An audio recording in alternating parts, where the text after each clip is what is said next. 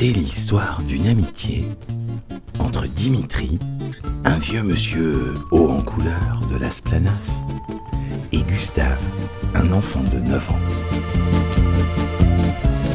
Une histoire dans laquelle on croise une basket, un vélo, un chien et un gâteau au chocolat.